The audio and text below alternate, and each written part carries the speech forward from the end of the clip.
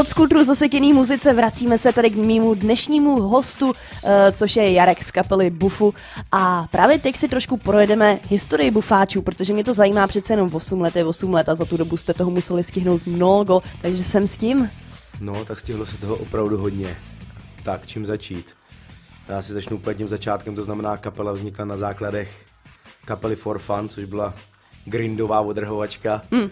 kde hrál kytarista, původní bubeník a druhá kapela, vlastně, která stála u zrodu, byla moje kapela, ta se jmenovala Menze Crew. Co jde? No a vlastně tyhle ty dvě kapely se rozpadly a pak jsme se nějakým způsobem našli a začali jsme ve třech zkoušet. Vlastně jenom kytara, bicí a, a zpěv, když to tak můžu říct. A potom jsme přibrali basáka, takže to začalo v tom roce 2006. Pak to šlo, šlo, začaly přibývat koncerty, hrálo se, hrálo se a vlastně až do desky, teď kterou jsme vydali, ze který posloucháme věci, uh, hrál původní bubeník a potom během roku jsme vystřídali pět bubeníků, než jsme našli toho pravýho a ten je ten. pět bubeníků. Pět bubeníků. No tak to musel být docela hardcore teda. No. To byl. Jinak já se zeptám, ale asi si na to ptá spousta lidí, ale nedá mi to, uh, ten název bufu. Ano. Proč? Proč? tak já nevím, jestli někdo z lidí viděl film Kdo hulí, ten umí. How High. Hm, já tam, tam jenom zahulíme, uvidíme. Tak, tam je Method Man a Redman, tak doporučuji, podívej se, je to fakt sranda. Já to viděl asi 35krát. Hezky.